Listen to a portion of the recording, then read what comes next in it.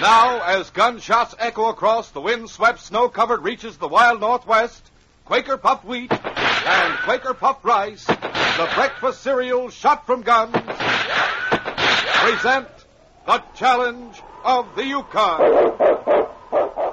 It's Yukon King, swiftest and strongest lead dog of the Northwest, blazing the trail for Sergeant Preston of the Northwest Mounted Police in his relentless pursuit of lawbreakers. On King! On, huskies! Gold. Gold discovered in the Yukon. A stampede to the Klondike in a wild race for riches. Back to the days of the gold rush. With Quaker puffed wheat and Quaker puffed rice, bringing you the adventures of Sergeant Preston and his wonder dog Yukon King as they meet the challenge of the Yukon.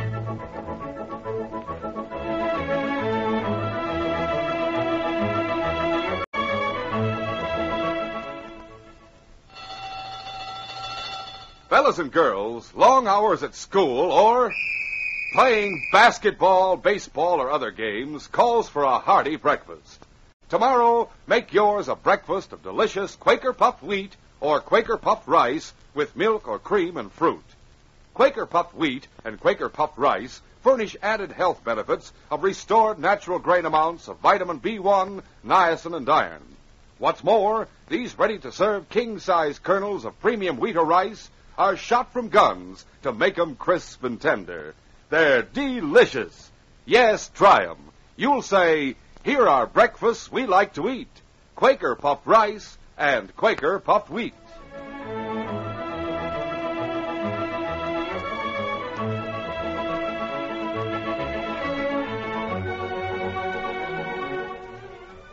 Jack Madison and his father had gone to the Klondike with high hopes. But bad luck and hardship had dogged their activities. Their cash was nearly gone. Jack's father had become an invalid, and Jack himself had finally been forced to abandon work on his mine, the Klondike Queen. He didn't know that two men worked there secretly. Carslake and Peavy went into the mine night after night to work by lantern light. They were deepening a side tunnel. Hold the light a little closer to the wall. Hey, Carslake. Carslake, that rock looks different from the rest. Uh, hold that light steady. There's color in there. See? Yeah, I see it. Well, what's it mean? Peavy, it means we've got gold. Carslake, you sure of it? You dead sure? Do you know anyone that savvies mineral better than I do? No, but I I knew all along that Jack Madison's vein hadn't run out. I knew he would strike the mother lode if he'd kept going through the fault. But he didn't. And now we've found it. Carslake, is it a rich vein? You sure we got the mother lode? Just a minute. Hold that lantern closer, Peavy. Yeah, sure thing. Anything you say. Uh, that all right? Fine. Mighty fine. Richer than it was before Madison lost it. It's the richest vein I've seen. Then we're rich, Carslake. We're rich. Just a minute, Peavy. Maybe you forget that this isn't our tunnel. It still belongs to Jack Madison. Oh, yeah, that's so. But we'll buy it from him. That's what we'll do. We'll buy it. He won't sell. Sure he will. He thinks this mine is petered out. He quit it, left it. He'll suspect something if we try to buy it. Chances are he'll come here and look around. He'll see where we've been working. Yeah, maybe so. Better cover the work we've done so he won't notice it. He won't do business with us anyway, Peavy. Not after the way we cleaned him on that other deal. Oh, that. Yeah, that. Yeah, he was pretty sore about that deal. Sure he was. Who wouldn't be sore? How would you feel if someone took all your savings on a gold mine that had been salted? Well, maybe I could make him think my conscience bothers me after that last deal. Your conscience.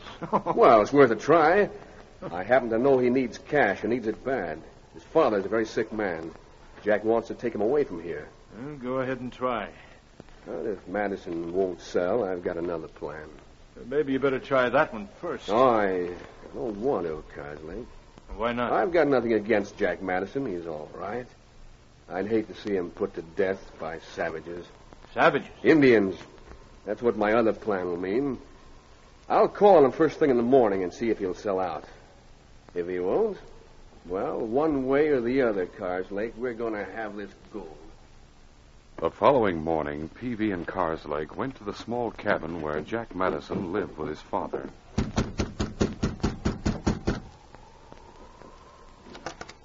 Hello, Madison. Peavy.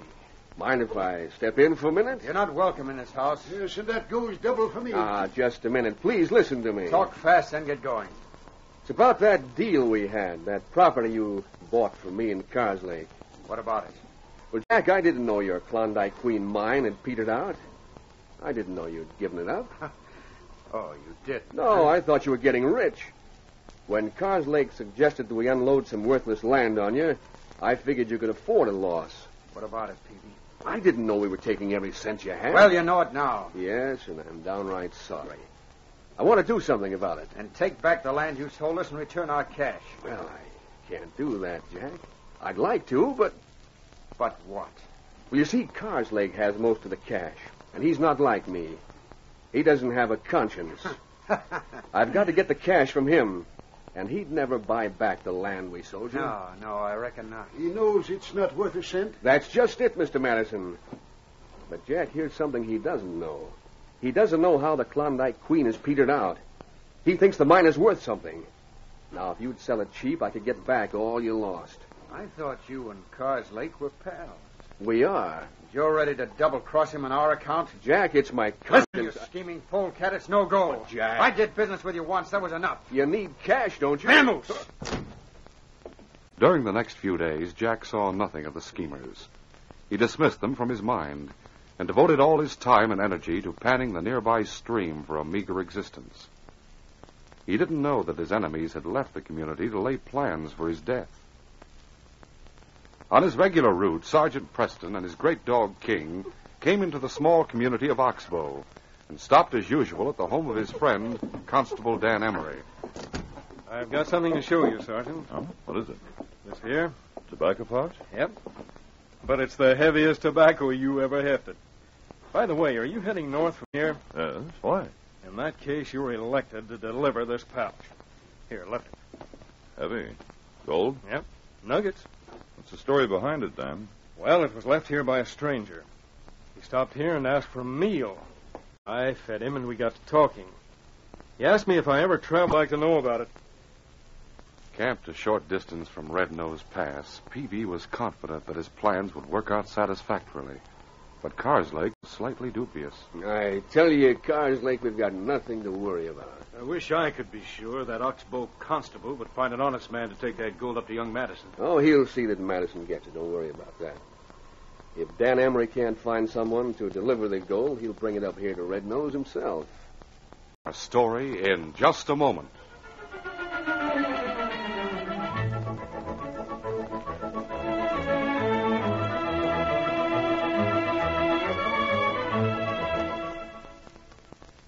For a breakfast that's delicious, for a breakfast that's nutritious, remember these three famous words. Shot from gun. Yes, Shot from Gun stands for the original, the one and only Quaker puffed rice and Quaker puffed wheat.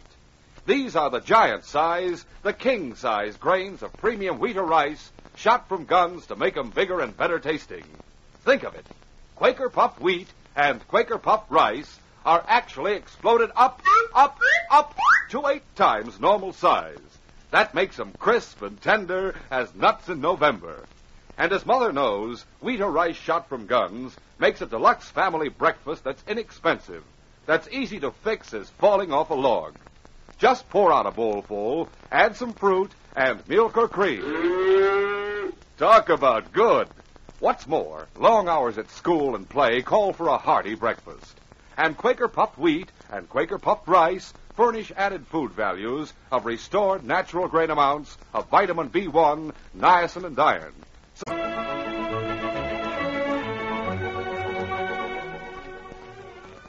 Now to continue our story. Sergeant Preston and a constable, accompanied by King, headed east to visit the Valley of the Spirits before delivering the pouch of gold to young Jack Madison. A mournful wind sighed through the valley. The ground was wet and soggy from melting snows. I, I reckon you must have heard that my boy was brought home. Yes, we did. And we're mighty sorry, Madison. Mighty sorry. Have a chair. Madison, I don't hardly know where to begin. I know you hate me for that swindling deal. No, I, I don't hate anyone anymore, Peavy. Glad to hear that. Um, that, uh, Yes, yes. That's my boy over there under the blanket. you want us to go to the North Ridge for the coroner? Sergeant Preston will let the coroner know. Oh. I wondered where the Mountie gone. Madison, Peavy and I swindled him. Well, money don't mean much. Nevertheless, you've got to have cash to live. I don't suppose Jack located a gold mine where he went. No. Look here, Madison. Maybe this is a poor time to talk business, but we've got to work fast. There's a newcomer in town. I can unload that Klondike Queen on him. What good's the Klondike Queen? The newcomer don't know that it's worked out. Carslake and I want to return the cash we swindled you out of. Why don't you buy back that no-account land you sold me and my boy? There's no tunnel on that land, but the Klondike Queen really looks like something. You want to buy it? Yes. You see, we can resell it right away.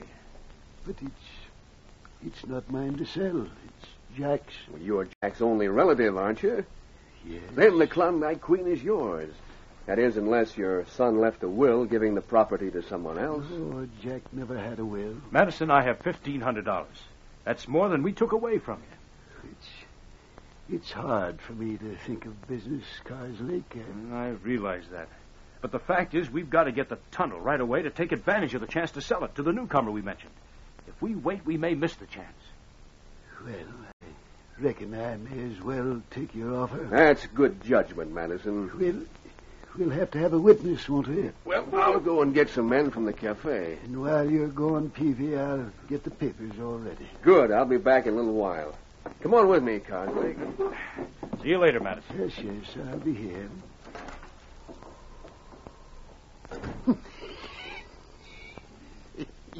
Big Jim Madison watched through a tiny window until Peavy and Carslake were out of sight, and then Hey, you can come out now. Sergeant Preston came from a small woodshed at the rear of the building. Hmm, heard them, Madison. It's easy enough to see through their plans. Yes, those ornery buzzards. They didn't wait long to pounce on Jack's property. You said I should hear what they had to say and be agreeable. It is did just right. You can come out from under that blanket now, Jack. Good.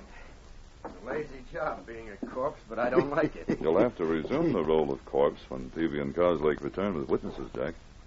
Meantime, we'll get a bill of sale ready. Those poor polecats. They knew they couldn't buy it from me, so they planned to have me killed, figuring they'd deal with Dad. I wonder why they want that worked out, man. Ah, that's what I want to know, Dad. And that's what we're going to find out. It was about an hour later when Big Jim saw Peavy and Carslake returning with men who would act as witnesses to the exchange of property. Jack resumed his position beneath the robe on the bunk, and Sergeant Preston returned to the woodshed. When four men entered the cabin, Big Jim was apparently alone with the body of his son. He showed the bill of sale he had prepared. When the signatures of the witnesses had been fixed to the bill of sale, Peavy and Carslake left Big Jim and went with the witnesses to celebrate what they considered a smart deal. The following morning found the plotters at the Klondike Queen. They went to work removing the worthless dirt they'd used to conceal their precious discovery. They shoveled furiously without pausing to rest. Sweat rolled down their faces. In the light of several lanterns, their eyes burned with eagerness to reach the mother lode. Finally, Carslake threw down his spade. We've got it, Peavy. There's the load. Gold. Gold, Carslake, and it's ours. All ours. A fortune if it's worth a cent. well, Madison will be fit to be tied when he hears of this. Uh, we'll just tell him that the deal I counted on fell through. So we decided to come back and looked at the tunnel over and found this load. Yeah, that's it. Yeah. Maybe we'll give him a little more cash just to show him how generous we are. Did you say generous? Uh, what the Sergeant Preston? What are you doing here? I wondered why you were so eager to buy the Klondike Queen. You knew there was gold here. You couldn't deal with Jack, but you were sure you could deal with his father. Pretty smart, aren't you, Mountie? You planned to murder Jack Madison. Try and prove that. You sent him to the Indians' burial ground. We didn't send him there. He went on his own hook. You knew he'd go there. Come in here, Constable. Constable. Yes, I'm right here. You here. This the man who left the pouch of gold with you? He's the one, all right. You, mm-hmm. you went with Jack Madison to hunt gold in the valley. That's right. All right, Sergeant Preston. Suppose you're right. What are you going to do about it? We bought and paid for this tunnel. We've got a bill of sale here to show it. Perhaps that bill of sale won't mean much when the truth is learned. Who's going to tell the truth? I am. Guess again. Peavy, put that gun Down down. your life. Take the Mountie's weapons, Carslake, and then the constables. We're taking no chances on losing this deal. Don't try it, Carslake. Go on, do as I tell you. We're going to herd these two in one of the old tunnels and leave them there. We'll seal them in with blasting powder. You can't get away with murder. You'll see what I can get away with. King was watching the scene from 20 yards away in the tunnel. The mighty dog was tense and trembling with eagerness to attack the man who held a gun on his beloved master, the man who laughed so tauntingly. But King was restrained by Jack's firm grip on his harness. this gun away, Preston. Just what'll you do, huh? Peavy, I hoped you'd threaten me with the constable as a witness. Now we have a charge that'll put you two in jail. Hey, King! King was waiting for that. He raced past the constable and Sergeant Preston, leaping beneath the gun and striking the plotter with overwhelming force. Oh, no, no! Look out, let me out. Don't let that dog get me. All right, King, I have him covered. I had a hard time holding him. Jack Madison, you! You bet it's me. King and I were back watching. Get up, Peavy. Get out of my tunnel. It's our tunnel. We bought You it. You bought it from my dad, and it wasn't his to sell. I'm alive, so that deal is void. Now get out. You can't get away with this, Jack. You can't get away with it, I tell you. We'll fight this through the courts. You'll have a fight in court, all right, Peavy. But you'll be fighting for your freedom. And you can't win. You can't win because Constable Emery and Jack Madison both witnessed the way you pulled a gun on me. And if you ask me, Peavy, we can make that charge stick. Ah, that dog. If that dog hadn't come here, we'd have gotten all three of you. If King hadn't been on hand, Peavy, we'd have used a different method. You couldn't win. Yes, King? The case is closed.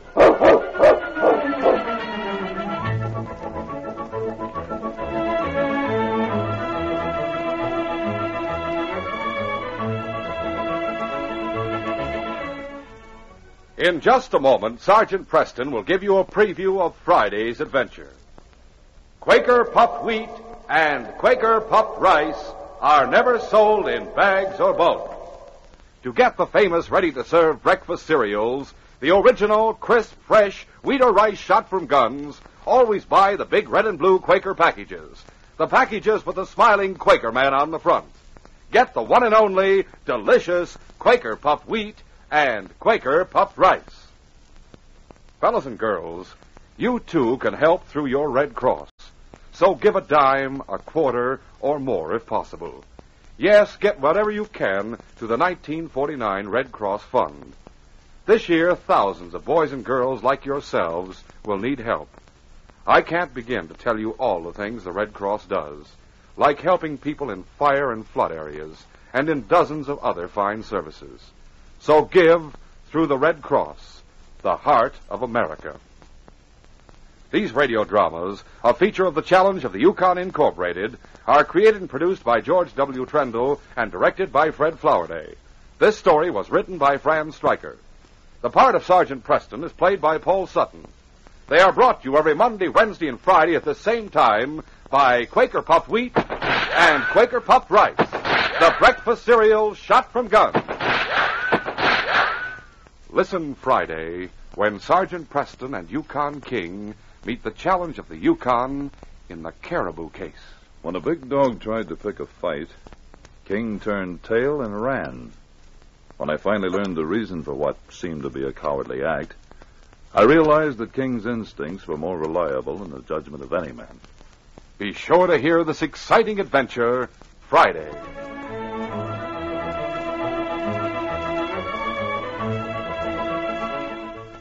For a delicious hot breakfast, eat Quaker Oats. The giant of the cereals is Quaker Oats. Yes, the giant of the cereals is Quaker Oats. Delicious, nutritious, makes you feel ambitious. The giant of the cereals is Quaker Oats. Say, boys and girls, do you want to be a star someday in sports and activities? Then start on good Quaker Oats breakfast tomorrow. Because nourishing oatmeal gives you more growth and endurance than any other whole grain cereal. Still less than one penny a serving. Quaker and Mother's Oats are the same.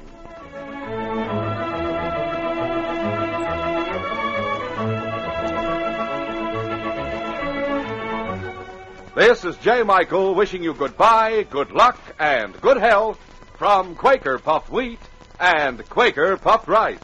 So long. This is ABC, the American Broadcasting Company.